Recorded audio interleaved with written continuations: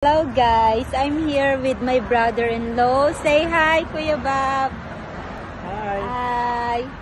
I'm here because I'm looking for for my food, my vegetable in Asian store, but we're here now, but they don't have it. The owner said, worker here inside, they said this they sold out already, and the stuff that I need in the house, all of it is is no more. So I just buy a little some food so we can go back home with my brother-in-law. So I just show you around. This is in Colombia.